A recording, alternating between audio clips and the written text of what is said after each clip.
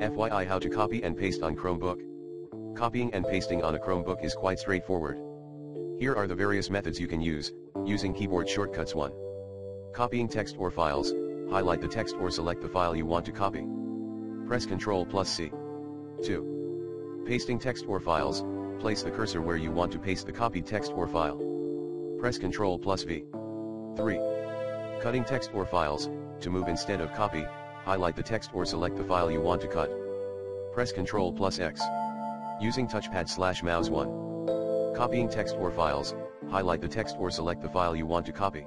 Right-click on the highlighted text or selected file.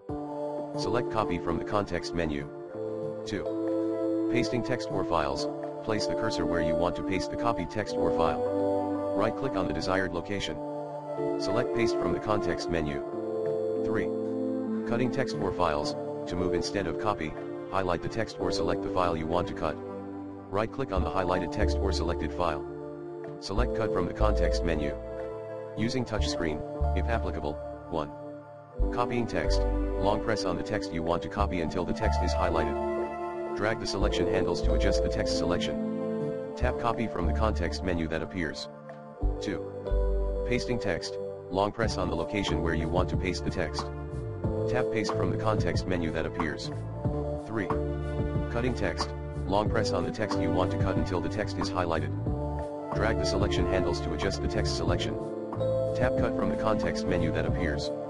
Using Chromebook Shelf, File Management, 1. Copying files, open the Files app. Select the file or folder you want to copy by clicking on it. Right-click on the selected file or folder and select Copy from the context menu, or use Ctrl plus C. 2. Pasting files, navigate to the location where you want to paste the copied file or folder. Right-click on the desired location and select Paste from the context menu, or use Ctrl plus V. 3.